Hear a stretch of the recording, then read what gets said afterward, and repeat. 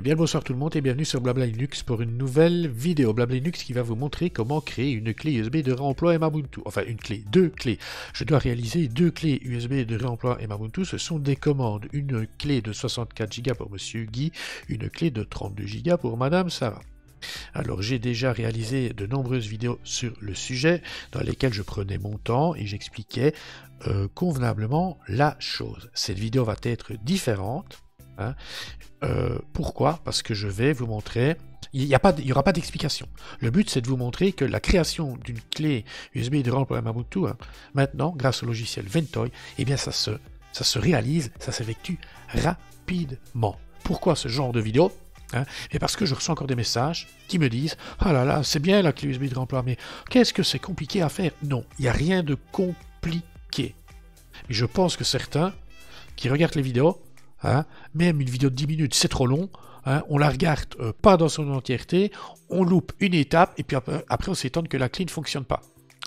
Tout comme il existe des tutoriels écrits en ligne, même chose. Je suis sûr qu'on ne lit pas tout, hein. on lit en gros, en partie, et après on a une clé qui ne fonctionne pas. Donc ici, euh... tac, regardez, clé de 32 Go, clé de 64 Go. Alors, je me rends, je me rends, je me rends. Euh, USB de remploi. Commande, Monsieur Guy, Madame Sarah, Monsieur Guy.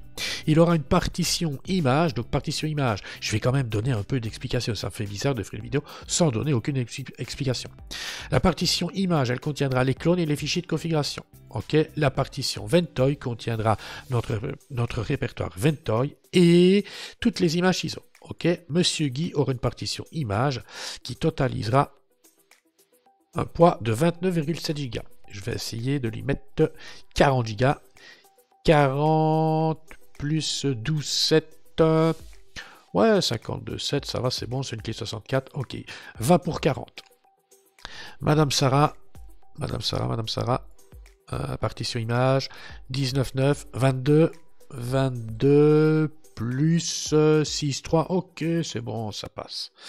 Donc maintenant, Ventoy. Clic droit, ouvrir dans un terminal. Et hop, on appelle le lanceur.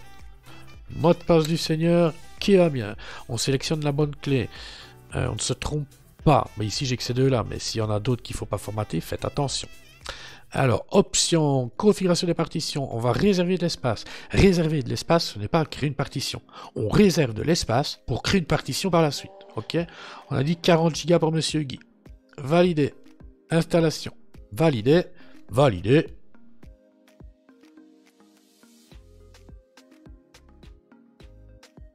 Validé. C'est bon. Madame Sarah, clé de 32, option, configuration des partitions. Madame Sarah, c'était 22 Go. Euh, validé. Installation. Validé. Validé. Maintenant que l'on a réservé de l'espace en fin de clé USB, on va créer les partitions. Utilitaire Ventoy, c'est terminé. On crée les partitions soit avec l'utilitaire de disque GNOME ou Gpartit. Pour ma part, ça va être euh, l'utilitaire de disque GNOME. Ma clé de 62, donc c'est la clé de 64 mais 62 effectifs, ma clé de 32 mais 31 effectifs. Clé de 62, on peut voir l'espace euh, disponible, c'est l'espace réservé.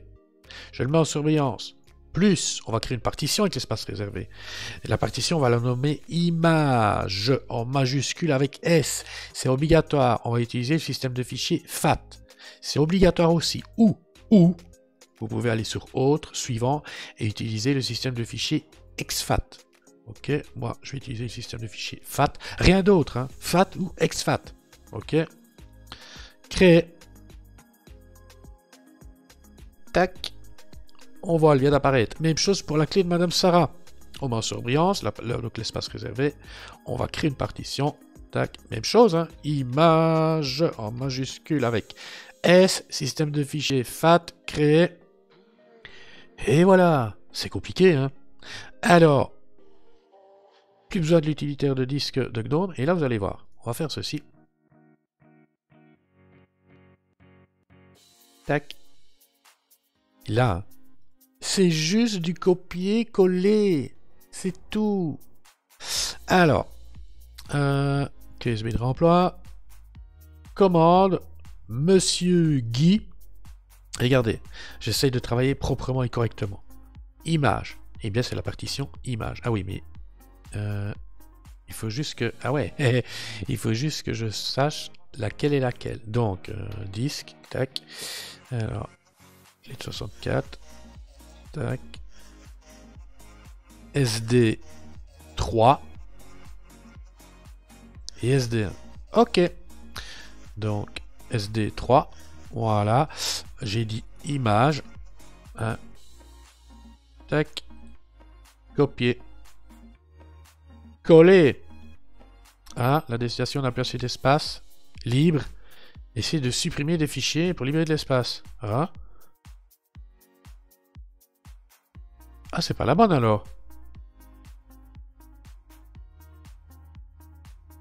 Tiens. Ben. Je me trompe, je me trompe. 62. Tac. SDD3. Ouais. Ah non, voilà. Oui, je me suis trompé. SDE3, SDD3. Tac. Celle-là. C'est sur celle-là que je dois coller. Voilà. Euh, donc, SDD3. Donc, l'autre, c'est SDD1. Voilà. Ventoy. Hop. Ventoy. Hop. On copie. On colle. Et maintenant, ouais, c'est une file d'attente. Hein. Maintenant, on va faire la clé de Madame Sarah. C'est la même chose. Donc ici, c'est euh, la SDE 3. Tac. Les images. Hein, donc, enfin, quand je dis les images, ce sont les clones et les fichiers de configuration. On copie. On colle. Et alors, euh, SDE1 pour Ventoy. Donc la partition Ventoy. Voilà. On copie. Et on colle. Et c'est tout. Et c'est terminé. Hein. Voilà. Les clés, elles sont faites. il faut que les copies se fassent. Mais les clés, elles sont terminées. Petite parenthèse, tous les fichiers que j'ai utilisés pour la création de ces clés USB de réemploi, je ne les sors pas de mon chapeau. Hein. Ces fichiers sont disponibles sur la page de projet Emabuntu Source Forge, catégorie File, onglet File plutôt, hein, répertoire USB réemploi, et vous trouverez tous les fichiers nécessaires à la création d'une clé USB de réemploi. Si on descend même un peu plus bas, pour obtenir les clones, ce sera sur cette page. Ok Alors regardez ce qui est intéressant. Hein. Euh, il y a un répertoire documentation. Documentation en anglais et en français. Donc pour ma part, hein, ce répertoire documentation en français, je vais aller les placer eh bien, sur les deux clés que l'on vient de créer. Peu importe sur quelle partition de la clé vous allez placer donc ce répertoire documentation. Les deux partitions de la clé sont en euh, FAT32 ou en exFAT, hein, donc lisibles. Les partitions sont lisibles. Hein. Pour ma part, moi, je les ai placées. Hein, enfin, j'ai placé le, répertoire documentation sur les partitions Ventoy des clés. On peut le voir ici. Voilà. Et ici. Alors, je sais bien que vous êtes sceptique, je le sais, je le sais, j'ai créé deux clés, vous dites, ouais, mais il a créé deux clés, mais ça tombe, elles vont pas, ces clés. Mais si, elles vont. Alors, deux clés, deux machines virtuelles, je vais pas tout tester, hein, ok Donc, sur la première machine virtuelle, je sais pas quelle clé est pluguée, on va voir.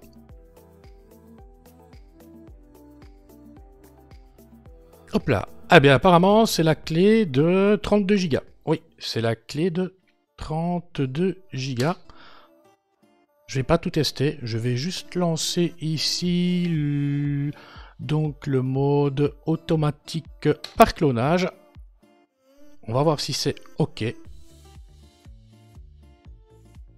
Et en attendant, je passe sur la deuxième machine virtuelle. Je l'ai démarré, je n'aurais pas dû. VM. On rentre dans le firmware. Voilà. Ici, ce sera de l'UFI. Ah, voilà, la clé de 64 Go. Et donc ici, même chose, je vais lancer le mode Donc le mode automatique par clonage, je retourne, je retourne, je retourne maintenant sur la première machine virtuelle et on voit que le mode automatique par clonage fait son job. Et sur la deuxième machine virtuelle, ça devrait bien se passer également.